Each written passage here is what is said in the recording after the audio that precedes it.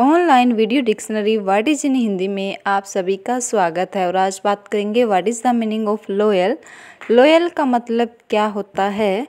तो लगभग लोग एक दूसरे को बोलते रहते हैं कि वो बिल्कुल भी लॉयल नहीं है, या फिर बोलते हैं कि वो अपने दोस्तों के प्रति बहुत लॉयल है, ऐसा हम लोग लगभग सुनते हैं।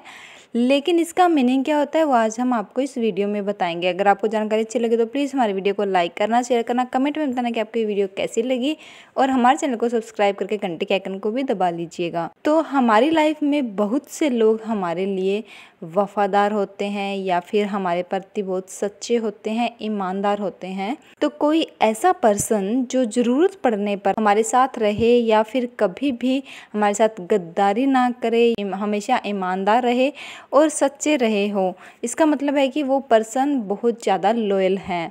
तो वो हमारे फ्रेंड भी हो सकते हैं या फिर हमारा कोई, हमारा पार्टनर भी हो सकता है, वो इंसान आपकी लाइफ में कोई भी हो सकता है।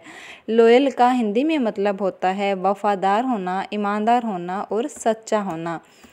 तो उम्मीद करते हैं कि आप लोयल के बारे में जान पाए होंगे।